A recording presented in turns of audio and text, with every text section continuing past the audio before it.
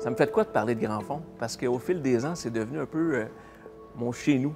Ça me fait de quoi d'en parler parce que j'aimerais ça que ça reste mon petit secret bien gardé. Parce que Grand Fond, euh, tu sais, quand il tombe de la neige, c'est ici que tu veux être. Puis quand il tombe pas beaucoup de neige, ben, c'est ici que tu veux être pareil parce que c'est probablement le plus beau terrain de jeu skiable au Québec.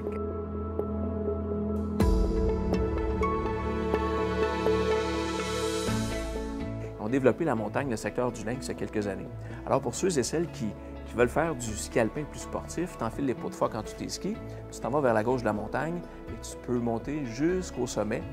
Alors, tu fais de l'activité physique, c'est cardio, et après ça, tu apprécies une super belle descente dans de la poudreuse.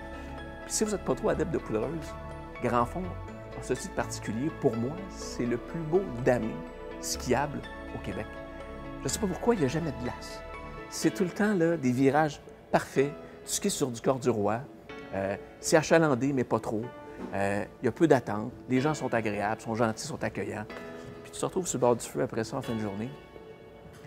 C'est parfait. Je vous ai parlé euh, du ski alpin, évidemment, à grand fond, mais il y a beaucoup plus. On offre des sentiers de ski de fond là, assez, assez spectaculaires, on va le dire. il y en a vraiment pour tous les, les calibres de skieurs. Je n'ai pas le nombre de kilomètres exact, mais on peut en faire longuement, encore une fois, dans de très beaux sentiers aménagés, bien indiqués. Et à travers tout ça, bien, vous pouvez croiser des sentiers de raquettes qui, là aussi, bien, on, a, fait des, beaux tracés à travers la forêt. Ce qui est intéressant en raquette, c'est qu'on peut aller jusqu'au sommet de la montagne et apprécier le coup d'œil et redescendre par la suite jusqu'à la base. On fait des, bonnes journées physiques, mais tellement, euh, tellement agréables. Non, je ne viens pas de Charlevoix. Je suis un Montréalais adopté par la région de Charlevoix. C'est ma région d'adoption. En fait, c'est mes parents qui sont venus ici initialement, qui, eux, m'ont transmis leur passion.